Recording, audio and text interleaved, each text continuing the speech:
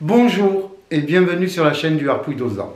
Aujourd'hui, nous allons commencer une série de vidéos qui va vous apprendre pas à pas comment réaliser le toilettage du cantarier. Les premières choses à faire sans lesquelles vous ne pourrez pas réaliser correctement le toilettage du cairn. Aujourd'hui, nous allons voir les bases. Les premières choses à faire sans lesquelles vous ne pourrez pas réaliser l'épilation du cantarier. L'épilation, le mot est lâché. Ce terme pour un néophyte peut paraître très très barbare. L'épilation vient du terme anglais leaf stripping. C'est en fait la mauvaise traduction de stripping, l'effeuillage. L'effeuillage, c'est une beaucoup plus belle image. Et en fait, l'épilation, c'est tout à fait cela. Effeuiller le poil mort pour révéler le manteau de poils vivant du cairn. Nous reviendrons plus en détail sur les différents types d'épilation à réaliser en fonction des différents stades de vie du poil du terrier. Si cela vous intéresse, dites-le en commentaire. Après cette introduction, nous allons rentrer dans le vif du sujet. Le toilettage et l'épilation du terrier. Quelle est la première des choses à faire pour toiletter un terrier Nous reviendrons plus en détail sur les différents types d'épilation à réaliser en fonction du stade de vie du poil du terrier. Après cette introduction, nous allons entrer dans le vif du sujet. Le toilettage et l'épilation du cantarier. Quelle est la première chose à faire pour toiletter un cantarier Nous allons voir ici les règles d'or de l'épilation, en lien sous la vidéo pour que vous ne puissiez rien oublier. Donc, la première des choses à faire avant de commencer l'épilation et même un diagnostic correct de l'état du poil est un brossage en profondeur. Le brossage en profondeur doit être réalisé en premier lieu avec une étrille de très bonne qualité. Attention, testez-la sur votre bras et dans la paume de votre main. Elle ne doit faire absolument pas mal et ne doit pas piquer. Beaucoup d'étrilles de, mauvaise qualité se trouvent dans le commerce qui blessent énormément les chiens. Après, vous m'étonnez qu'ils n'aiment pas se faire brosser. Le brossage en profondeur, nous allons commencer tout de suite, je vous montre.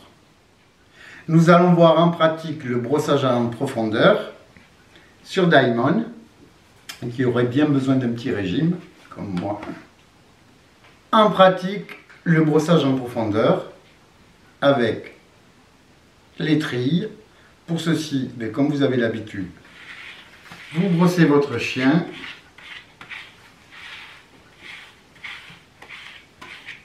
dans le sens du poil et à l'inverse du sens du poil.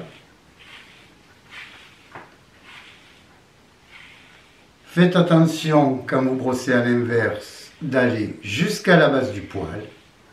Ça permettra de le rendre totalement libre.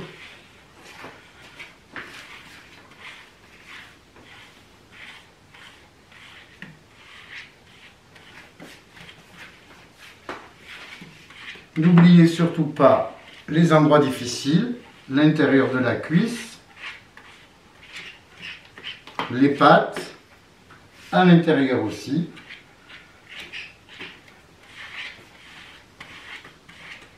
Le ventre.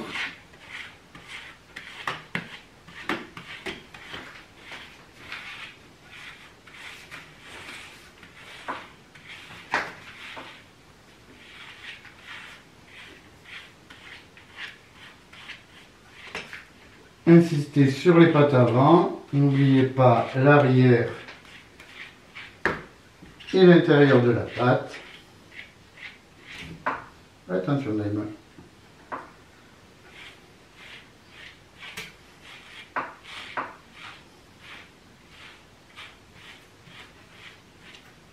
Pour la brosser sous le ventre, c'est facile. Vous la mettez à l'aise.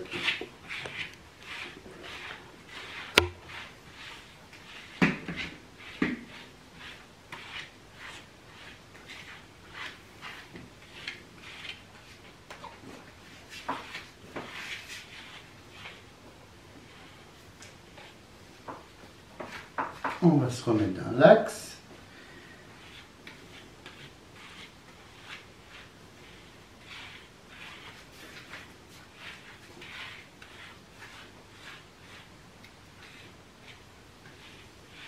Voilà. Une fois que vous avez eu l'impression d'être passé partout, plusieurs fois, vous prenez un peigne en fer assez large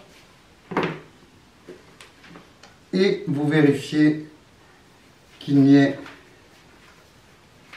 aucune résistance dans le poil, que vous pouvez peigner votre cairn totalement sans rencontrer de résistance. C'est très important pour pouvoir épiler correctement par la suite.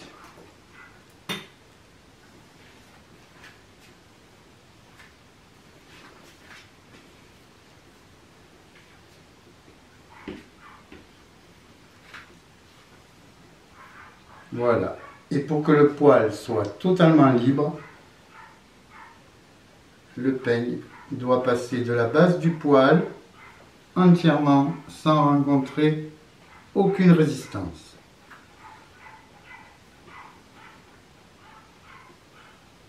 Ceci nous permet de passer à la deuxième étape, le diagnostic de l'état de pousse du poil. Maintenant, pour le diagnostic du poil, il faut faire attention parce que souvent, l'état de pousse du poil n'est pas partout sur les différentes zones du chien. Exemple, ici on commence par le dos. Je lève le poil, ce qui me permet de voir...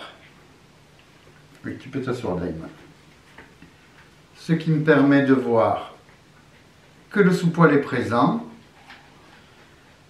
que le poil a une couleur assez vive et est assez vivant, et qu'en fait sur le dos, elle a très peu de poils morts. Juste quelques poils morts à enlever. Donc le travail sera plus facile sur le dos par exemple sur les côtés ou si je lève le poil je vois qu'elle a beaucoup de poils morts mais qu'elle a une repousse donc on pourra refaire sortir son joli manteau. Après, souvent, sur les cuisses, le poil est beaucoup plus long et là on voit qu'elle a du vilain poil qui est totalement mort puisqu'il vient tout seul mais qu'elle a bien le sous-poil et la repousse de poil. Donc, le diagnostic nous permet de voir sur cet état de poil dur, nous allons pouvoir faire un travail de rolling coat, c'est-à-dire d'enlever le poil mort pour révéler le manteau de poil vivant qui va raviver tout à fait la couleur de votre cairn.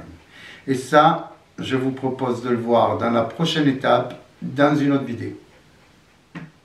Donc, je récapitule. Deux choses à réaliser avant toute épilation. Un brossage à profondeur pour que le poil soit totalement libre.